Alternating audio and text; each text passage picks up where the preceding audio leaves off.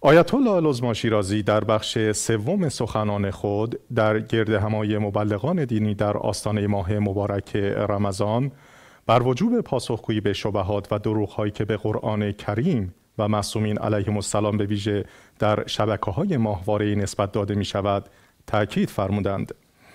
معظم الله در این زمینه در بخش سوم بیانات خود در گرد همای مبلغان دینی در آستانه ماه مبارک رمضان فرمودند وقتی انسان در آخرت به خاطر تحمل مشقات و مشکلات شخصی و بدرفتاری های همسر، اولاد، اقوام، دوستان و همکاران طبق وعده الهی و فرمایش معصومین علیهم السلام پاداش عظیمی دریافت می کند حال اگر این گونه مرارت ها برای خدای متعال و اطرت طاهره باشد قطعا پاداش بسیار بیشتری نصیب او خواهد شد.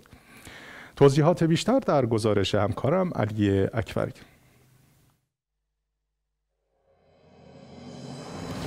بخش سوم بیانات آیت الله العظما شیرازی در گرد همایی مبلغان دینی در آستانه ماه مبارک رمضان اختصاص به وجوب پاسخگویی به شبهات و دروغهایی که به قرآن کریم و معصومین علیهم السلام به ویژه در شبکه های ماهواره نسبت داده می شود اختصاص داشت.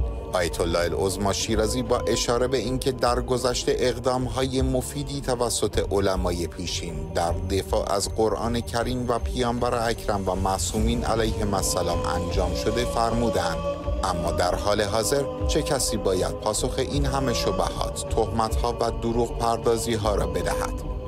اگرچه نوشتن کتاب کار مفیدی است و گاه برخی از کتاب ها در شبکه های ماهواره هم عرضه می شود که بسیار اقدام نتیجه بخشی است اما دنیای امروز دنیای حضور در شبکه های ماهواره است. همان گونه که اهل باطل شبکه های ماهواره گوناگون فراوانی در رابطه با مسائل مختلف راه اندازی نمودند مؤمنان هم باید در تمام دنیا سعی کنند که فرهنگ اهل بیت که پاکترین و زیباترین فرهنگ است را به اشکال مختلف منتشر نمایند. معظم الله با تاکید بر اینکه در هیچ جا به جز قرآن کریم و نهج البلاغه و صحیفه سجادیه نمی‌توان به این مفاهیم ناب دست یافت فرمودند. چرا شبکه های ماهواره ای وجود نداشته باشد که حقایق را به مردم برساند؟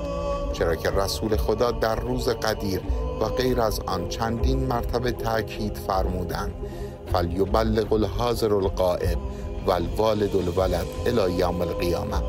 حاضر باید این پیام را به قائب و پدران هم به فرزندانشان تا روز قیامت ابلاغ کنند و این لام هم لام امر و به معنای وجوب است و این برای عموم است و هر کس که می‌تواند در نشر آن باید تلاش نماید و کوتاهی نکند. ایشان با تصریح بر اینکه امروز دنیا دنیای شبکه های ماهواره و اینترنت و نظیر این تکنولوژی هاست و مطالب مفسد انگیز از سوی اهل فساد در همین فضاها در حال پخش شدن و تأثیر گذاری است فرمودند.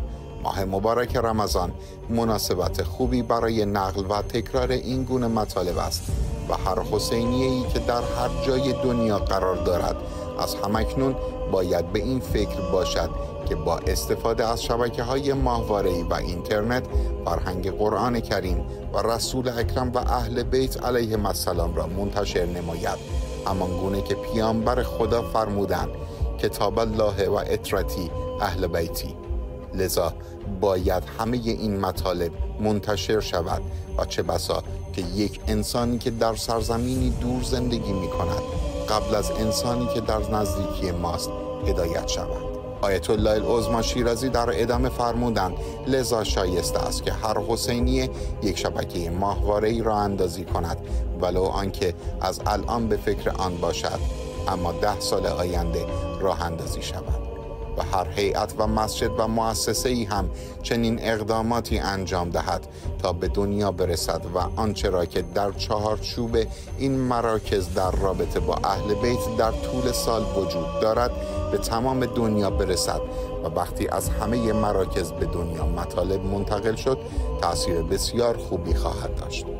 معظم الله همچنین تاکید فرمودند. اگرچه انجام این گونه فعالیت ها واجب کفایی است و به دلیل عدم کفایت واجب عینی است و در تمام طول سال باید انجام شود اما ماه مبارک رمضان فرصت خوبی است که تمامی موارد ذکر شده را که فریضه است انجام دهد. بر اساس خطبه پیامبر اکرم که اگر هر فریضه را انسان در ماه مبارک رمضان انجام دهد ثواب آن به اندازه هفتاد مرتبه انجام آن فرایز در دیگر ماه های سال است. لذا چه نیکوست که این فرصت از دست انسان نرود که حیف است. ایشان در پایان توصیه فرمودند. لذا کسانی که از مرد و زن در حال حاضر و یا بعدا سخنان من را میشنوند. سعی کنند که از این فرصت ماه مبارک رمضان بیشتر و بیشتر استفاده نمایند. هم برای مقام تقوای خود و بالا بردن آن و هم برای انجام وظیفه نمودن نسبت به دیگران. علی اکبری اخبار شیعه.